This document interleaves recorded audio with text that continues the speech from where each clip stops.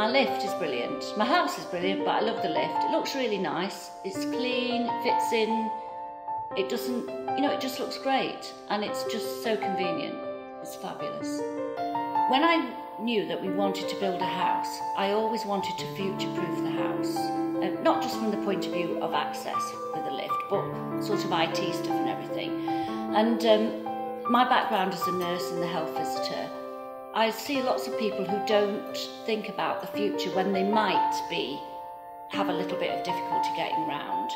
So I always wanted to have the possibility of having lifts. So when I met the architect, that's one of the briefs that I gave him, that a lift had to be designed into the house.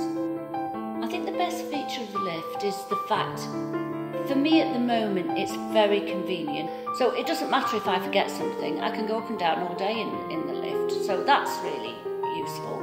It's been very useful for moving things around, like, for example, you know, bringing all the stuff into the kitchen, deliveries of food and obviously soft drinks, heavy things, carrying laundry up and downstairs, you know, moving, we found it useful for moving furniture. So it's just been great and it doesn't take up that much room. I think it's fabulous.